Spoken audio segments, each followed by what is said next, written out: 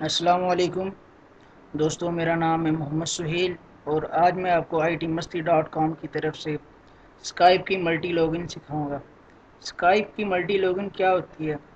कि आप एक ही आईपी एड्रेस से एक ही स्काइप का अकाउंट ओपन कर सकते हैं। लेकिन इस ट्रिक की मदद से आप स्काइप के जितने मर्ज़ी चाहें अकाउंट एक ही आईपी एड्रेस से ओपन कर सकते हैं। ये सब कैसे करना है, ये इंशाल्लाह मैं आपको सिखाऊँगा।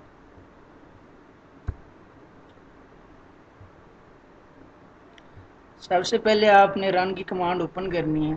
उसके लिए विंडोज़ की दबाए रखते हुए आपने आर दबाना है। उसके बाद अगर आप विंडोज़ का 32 बिट वर्जन यूज़ कर रही हैं तो आपने ये कमांड टाइप करनी है। अगर आप 64 बिट वर्जन यूज़ कर रहे हैं तो ये आपने टाइप करनी है। मैं 64 बिट यूज़ कर रहा हूँ तो लिहाजा मैं इसे टाइप कॉपी करता हूँ। और यहाँ आके मैं इसे पेस्ट करता हूँ और ओके कर देता हूँ।